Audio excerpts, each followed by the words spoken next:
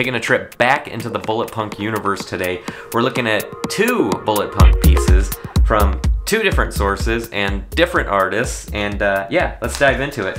We've got the Neo Carbine figure from CHK DSK, and you'll notice that the common thing about this and the TEQ63 Otomo from Quiccs is that they both have that Akira inspired vibe going on. The CHK DSK piece was from the Taipei Toy Festival this year, and this one, uh, made from Devil Toys, of course, but it came from Strange Cat Toys. They had a, a two-piece set that was up for grabs, and I managed to grab it at the right time. And uh, sure enough, let's crack that one open first and take a look at it. I loved Akira when I was growing up. They had it on VHS at Family Video and I watched it over and over and over again. Like many people, it was my first gateway into anime and I just fell in love with it. So, although I always say I'm not trying to collect all the, the TEQ63s, when I saw that this was a thing that they were doing for Akira, those are variants I had to have. So here is this beautiful Bullet Punk piece.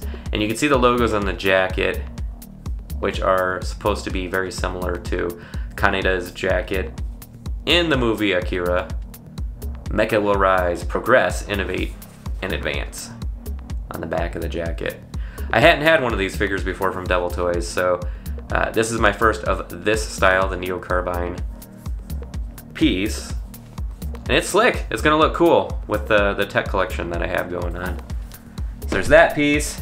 And then TEQ63, as I said, the Otomo from Martian Toys.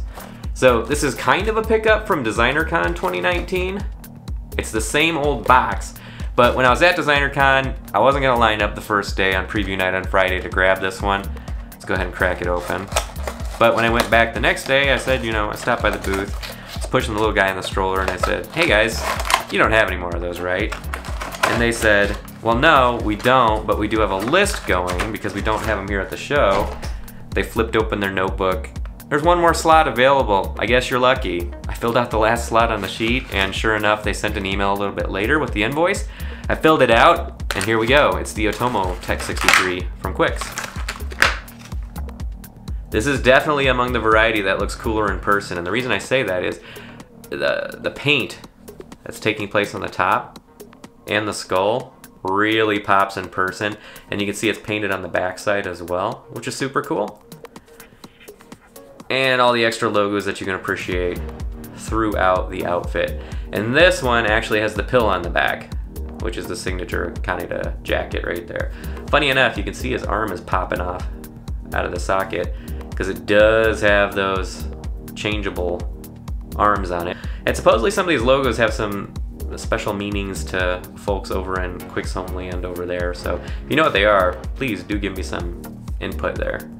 So yeah, what I saw on the Bullet Punk Network fan page was the best way to remove the arms apparently is to pop off the head and then lift them over.